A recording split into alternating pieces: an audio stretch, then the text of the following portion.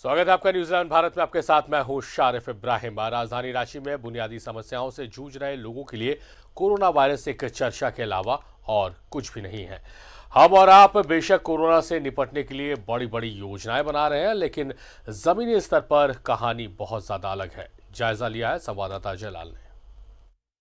Virus से यदि आपको लड़ना है तो हर दो मिनट के भीतर अपना हाथ धोएँ और सोशल डिस्टेंस मेंटेन करें। ये बातें सुनने में बहुत ही अच्छी लगती है, लेकिन जब घर में पानी नहीं हो तो क्या करें? जब घर में पानी नहीं हो तो ऐसी स्थिति उत्पन्न हो जाती है। तमाम बस्तियों में कोरोना से लड़ने के लिए जो बातें की जाती है, अफसोस की ऐसी बातों का इनके पास कोई मतलब नहीं है और मतलब नहीं भी होना चाहिए। क्यों इतनी भीड़ लगा रखा आप लोगों ने? क्या पानी क्या पानी हुआ है? तो अभी तो पानी आया। आया है तो फिर बंद हो जाता है ना पानी का, का हाँ दूसरा कोई का नाले बोलता है। अपना घर में रहने से तो अच्छा बात है ना। मैं बता दो ये तमाम जो हमारे पीछे की जो आप क्वार्टर देखेंगे इसी क्वार्टर में ये तमाम गरीबों की बस्ती है। इनके घर में पानी का सप्लाई नहीं है। पानी कब आएगा नहीं आएगा कोई ठिकाना नहीं रहता है। कुछ लोग बिना पानी के ही जा रहे हैं। क्यों जा रहे हैं बिना पानी के? मिला नहीं पानी। ऐसा ही बहुत भीड़ है।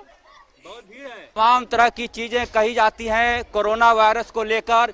कि आप ये करें आप वो करें ये ना करें वो ना करें।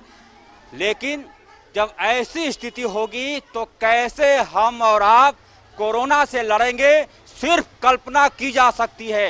ये तमाम लोगों के बीच पानी का संकट है पानी इस मोहल्ले में जो सप्लाई होता है महज आधे घंटे के लिए एक घंटे के लिए पूरी तरह से भीड़ देखेंगे।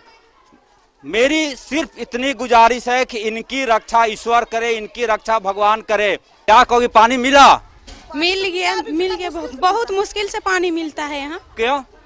क्योंकि नल नहीं है बोरिंग है खराब हो गया है। नल आधा घंटा एक घंटा के लिए खुलता है। उसमें भी थोड़ा आधा भर आता है तो आधा भर आता नहीं है पानी। भीड़ बहुत काफ़ी लग जाता है। भीड़ काफ़ी लग कारण जा- भर आता नहीं है। देखेंगे ये तमाम लोग पानी के इंतज़ार में घंटों घंटे बैठे रहते हैं और जब पानी आता है तो अचानक से इतनी बड़ी भीड़ लग जाती है जिसका आप सिर्फ़ अंदाज़ा लगा सकते हैं। क्या बोले क्या बोले चाची? अगर पानी घर में नहीं रहे तो हम लोग कहाँ से खाना बनाएँगे? और कहाँ से पियेंगे? बाल बच्चा कहाँ से नहाएगा? सफ़ाई रहने बोलता सरकार तो सफ़ाई रहेंगे कहाँ से जब पानी नहीं रहेगा तो?